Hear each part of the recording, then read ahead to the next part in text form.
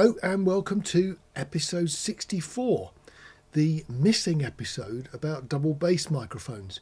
Uh, this should have been ages ago and it got recorded and sort of forgotten about, so I've resurrected it, um, found all the clips, put them back together. The basic idea to take a double bass and record it with what would really be described as not the go to microphones.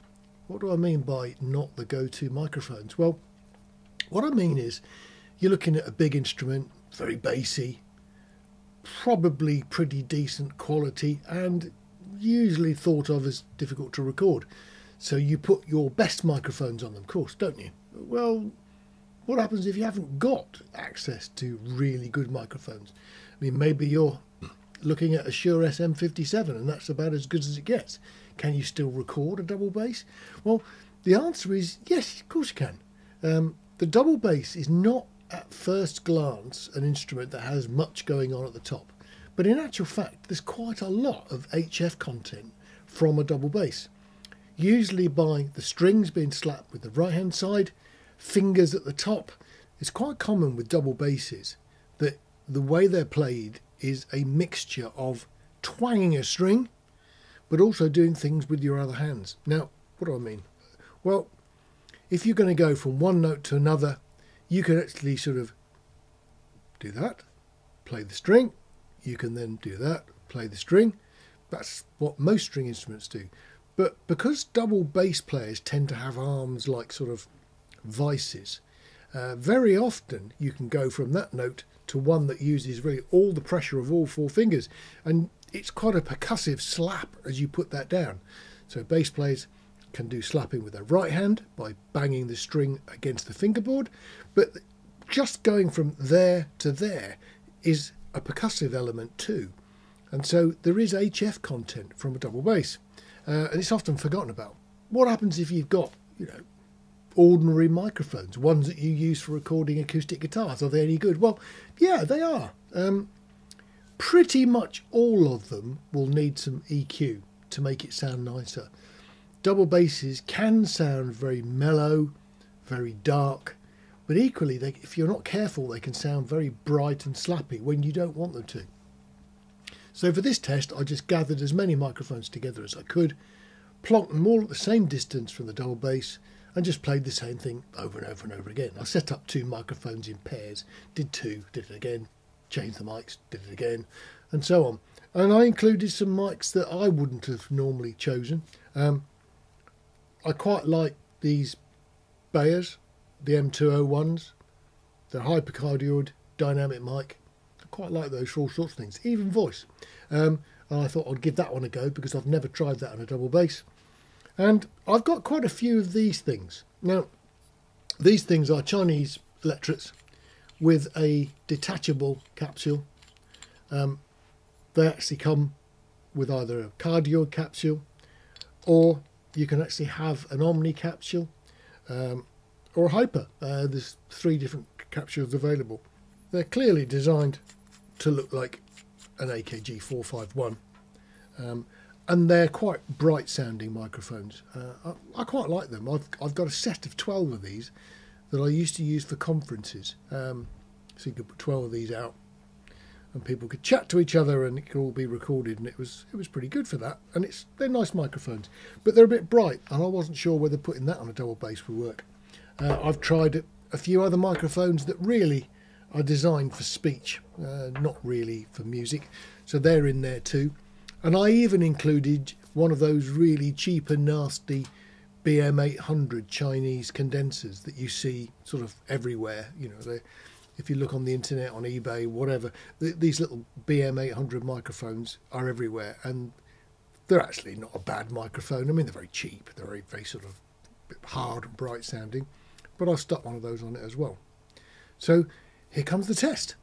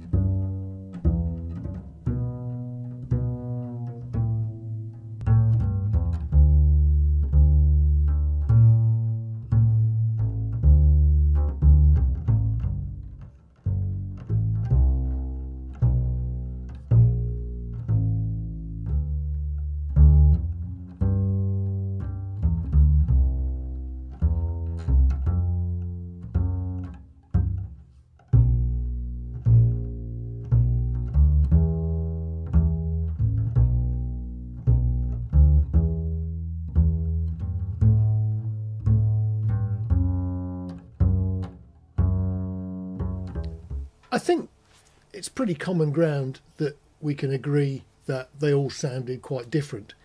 Did they sound better than each other, or did they really just sound different?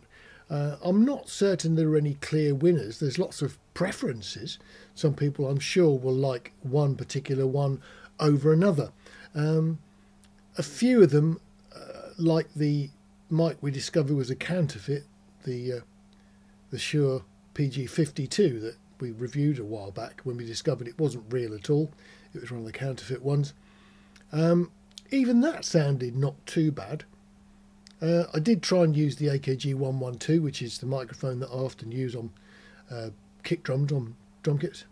Uh, I quite like the slightly brighter sound that 112's got, so it's been my favourite kick drum mic for years. And I thought, well, I'll try that on a double bass too. Um, but somehow all of this got forgotten about. I'm glad I've resurrected it, so you've had a chance now to to listen to loads of microphones on double basses, and if nothing else, it might convince you that just because you haven't got a particular specialist microphone for recording a double bass, you know, where you perhaps see AKG 414s and uh, U87s and all the clever ones, if you haven't got one of those, can you still record bass? Yeah, of course you can. Um, you just need to add appropriate EQ. But these have actually sort of, I think, done pretty well. Even the real cheapies have not been terrible. And I think, although they sound perhaps a bit thin, uh, with a bit of EQ, I think you could get away with those. So uh, it's an interesting test. Just hearing the difference between lots of microphones on the same instrument. Uh, it's probably far too many for a sensible test because you can't really compare. Uh, but it does give you the differences between them, and maybe you can draw some conclusions. And maybe if you've got some of these microphones, try them on a double bass if you ever get a chance. It Can't go wrong. So there we go, episode 64, all about recording double basses on slightly unusual microphones. Anyway, look after yourselves, and I'll see you on the next video. Take care.